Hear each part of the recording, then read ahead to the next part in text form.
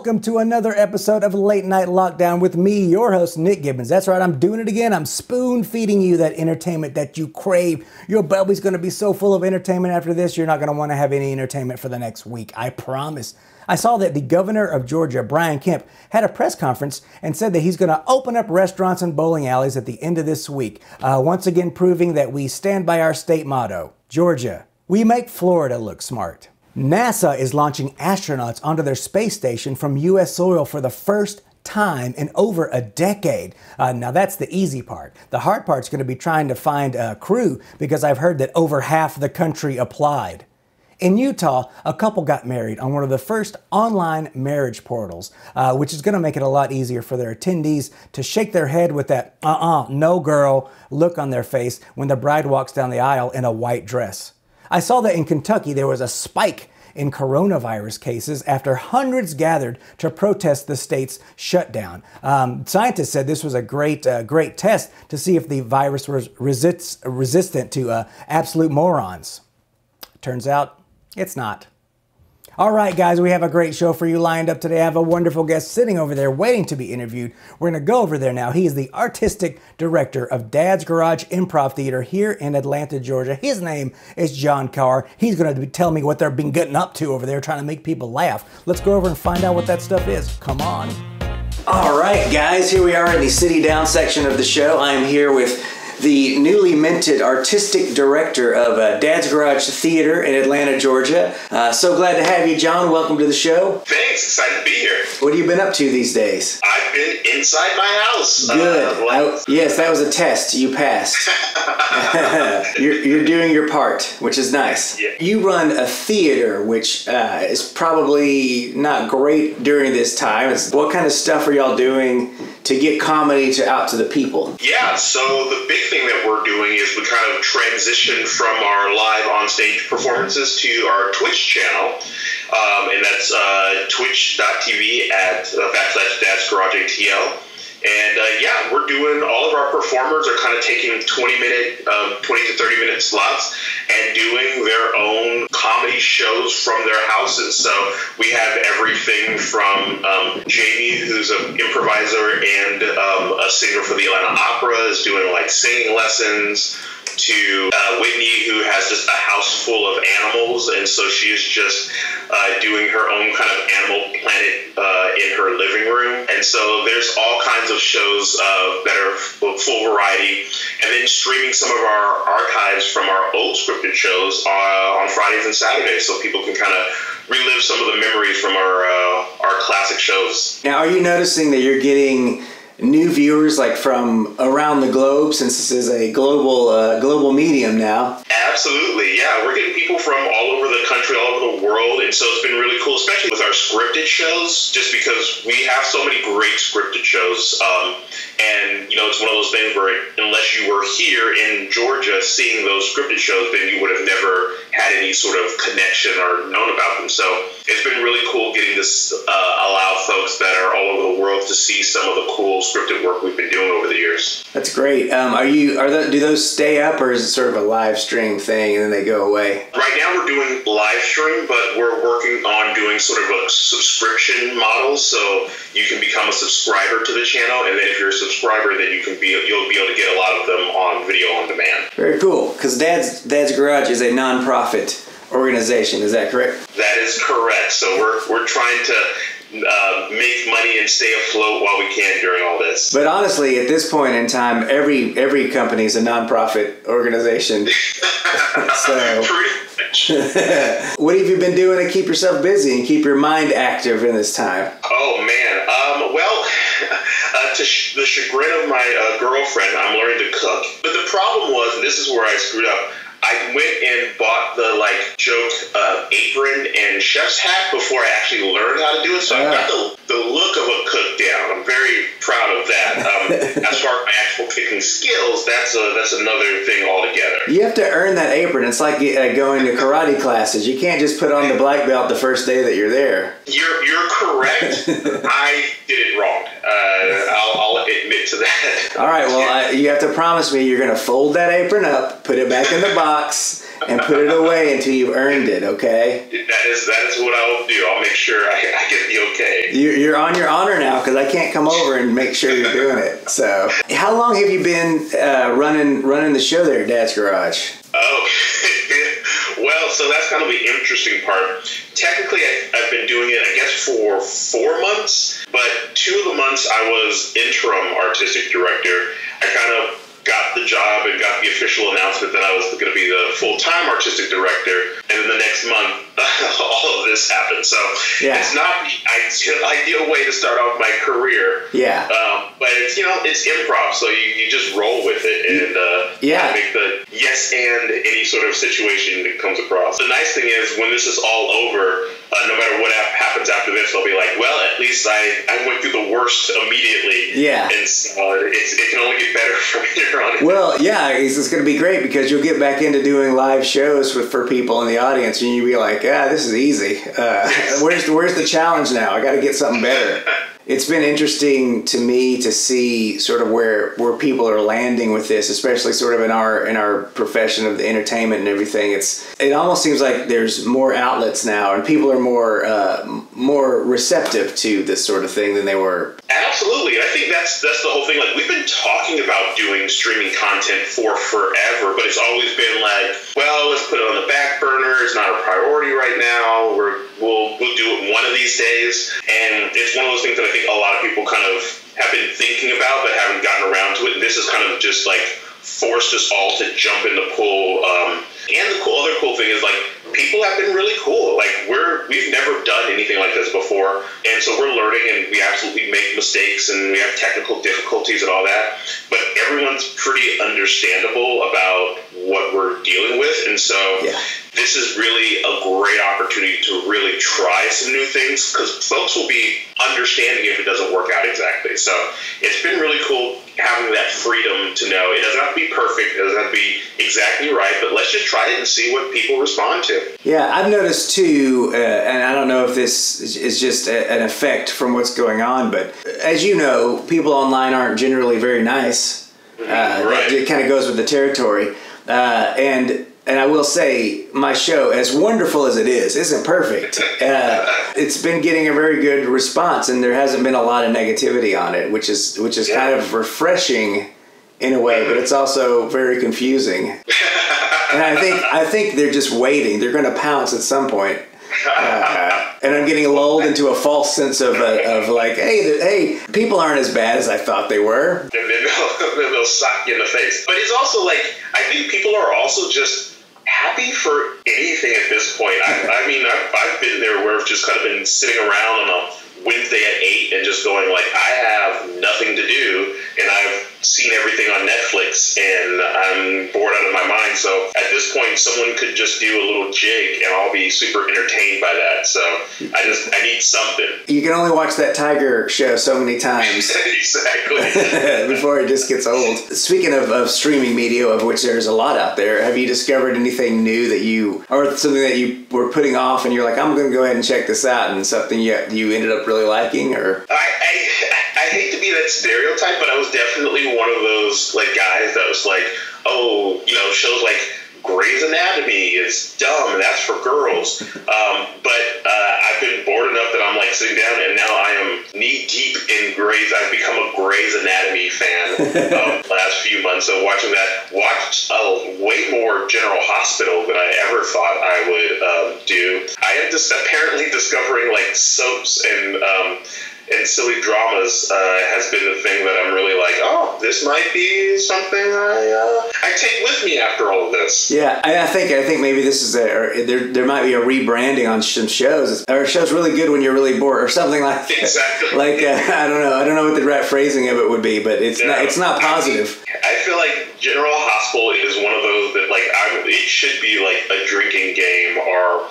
one of those sort of things that you can just like hang out with your friends and talk through. I'm I'm super into how terrible and wonderful that uh, soap opera is. For the longest time, you would have guilty pleasures of shows that you watched that, that weren't the best shows, but for right. some reason they they they, stro- they scratched an itch. I yeah. think the term guilty pleasures is now uh, a useless term.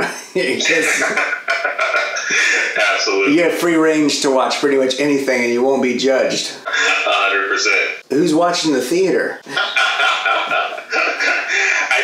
Crazy. Like I've uh, like on the weekends, every once in a while, we'll go out and just like go to the store or like do our one trip a week or whatever. And so now it's been like we're driving by the theater and just going like, oh man, people used to go there. That's and watch the, the grass slowly grow in this like making it look like a post-apocalyptic scene at this point. One good thing is there's uh, finally you can get you can park at the theater.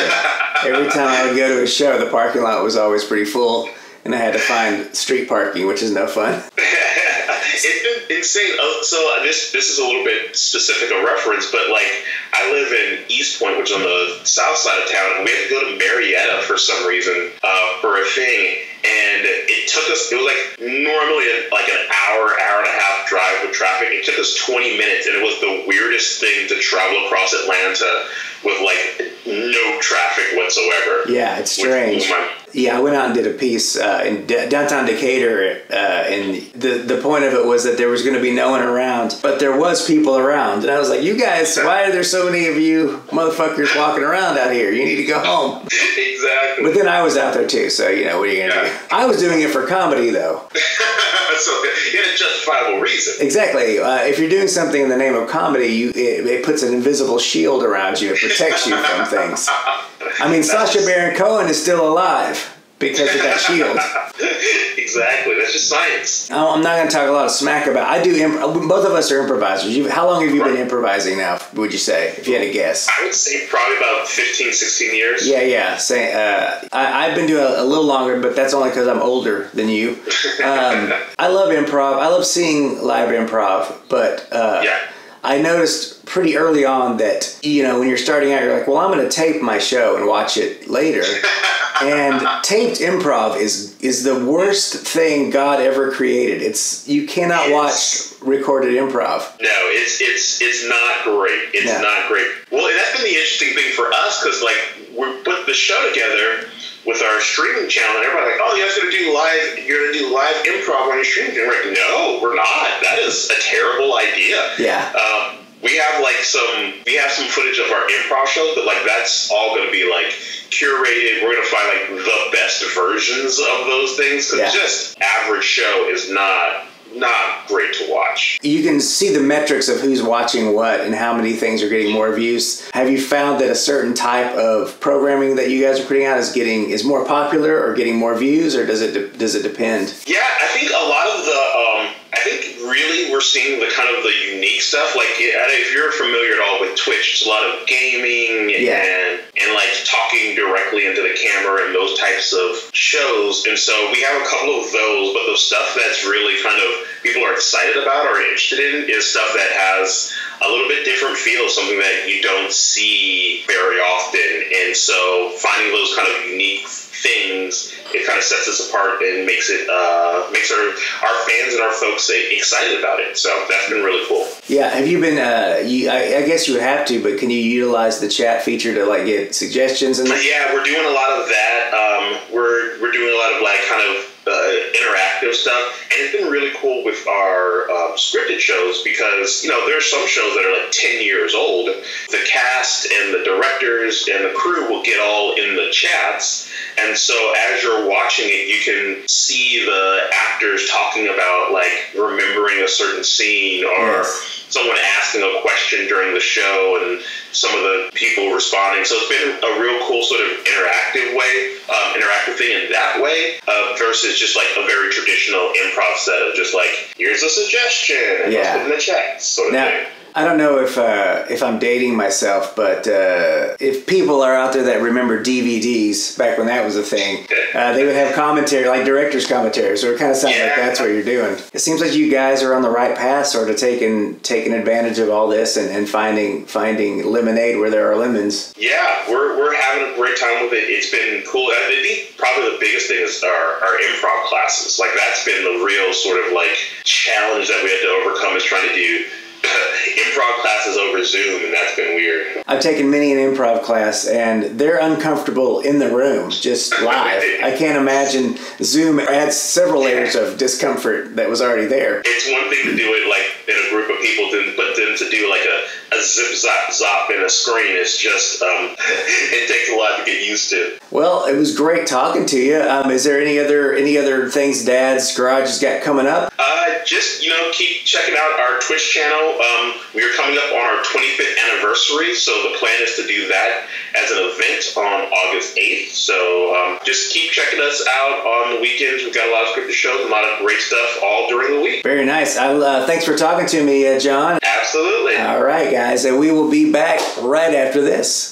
Are you afraid that one of the family members that you've been locked up with for the past month is about to snap and start carving people up like a Thanksgiving turkey? Have you seen a glint of Nicolas Cage in your partner's eyes? Do you sleep with one eye open? If so, that's where I come in. Hi, I'm Lou Phantasm, and have I got the perfect thing for you? It's Lou Phantasm's 101 Ways to Tell if a family member's about to go all shining on your ass. It is chock full of useful nuggets to let you know if one of your housemates is about the Texas Chainsaw Massacre to place. Like number 46, are they spending most of the day sharpening axes and or machetes in the woodshed? Or number 14, do they talk to any of their body parts? And of course, number 64, have they been quoting from the book of Revelations? Every book comes with a free pair of handcuffs and a pretty dolly with long hair that they can brush to calm them down, you know, after you've chained them to the radiator. Hey, you know, I'm just leafing through the book here. I'm noticing that the last 50 pages, all it says is all work and no play makes Lou a dull boy.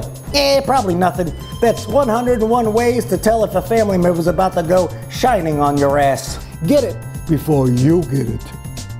Welcome back to the show, everybody. Now, a lot of people are a little bit worried about the future and what it could hold for our world with all this craziness that's going on right now. But I think my next guest can shed a little light on that. He is a traveler from the future. That's right, a time traveler from the future. Hank from the future. Hank, thanks for being on the show. Thank you, Nick. I have to say, until now, I've only seen photographs of your primitive society, and I must say, it is quite jarring to be here and see it firsthand. Well, now, Hank, how far back from the future have you traveled? I have folded the very fabric of time and traversed across its razor's edge all the way back from April 23rd, 2020. Wait a Wait a second, Hank. That's that's tomorrow. Tomorrow in the future. What of any significance could you have to tell us about tomorrow? There is a huge explosion. Oh my god, is it is it China, Russia, North Korea? Do they attack or something? No, no, no.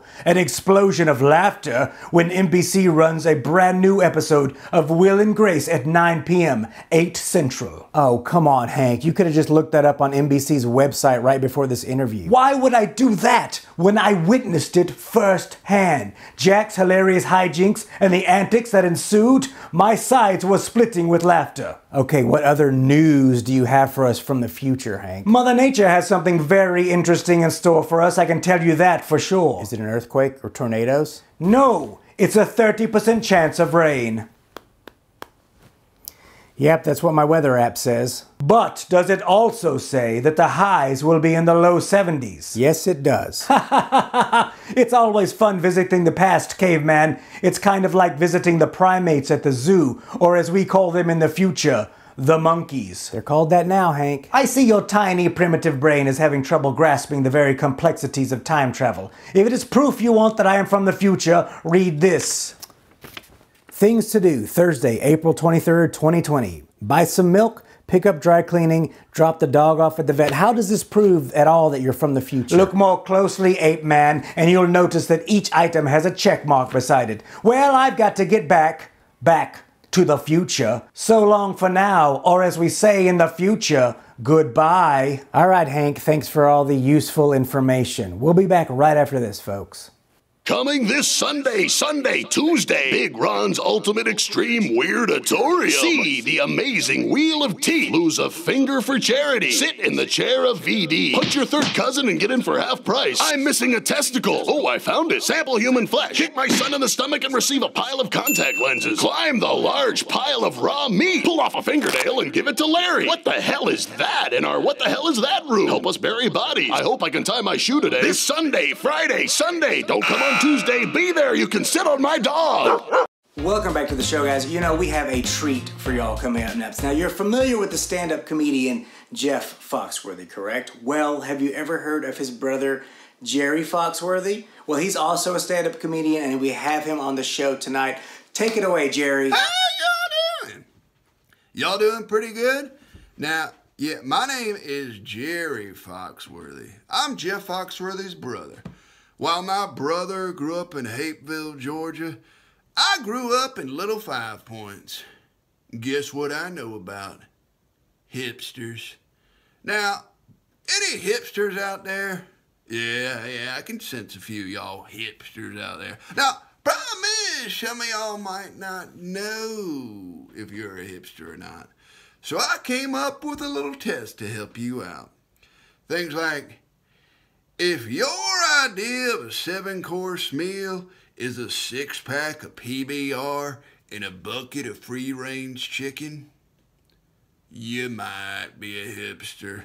Ring a bell for anyone out there? That's right.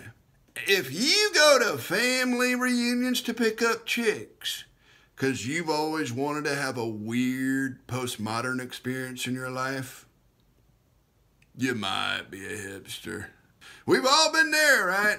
If you've been on TV more than five times describing the sound of a tornado, you might be a hipster. Yeah, I can sense some finger pointing going on out there. If your facial hair has a strong resemblance to that of former Prussian Chancellor Otto von Bismarck, guess what? You might be a hipster. We know who you are. That's right. And finally, if you can burp and say your name at the same time, and you have a favorite kind of chutney, say it with me now. You might be a hipster. Well, thank y'all so much. Y'all been great.